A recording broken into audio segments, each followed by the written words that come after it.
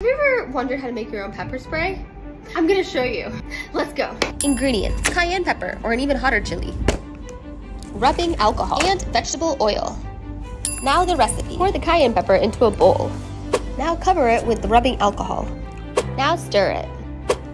Add some oil and stir it again. Now seal it. I used hair elastic and plastic bag because that's all I own.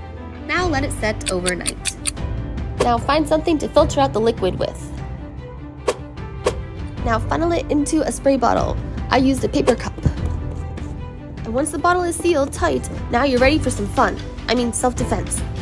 Disclaimer, I have absolutely no idea what I'm doing. I'm just a girl on the internet who's showing you what she learned on the internet. So you're welcome, bye.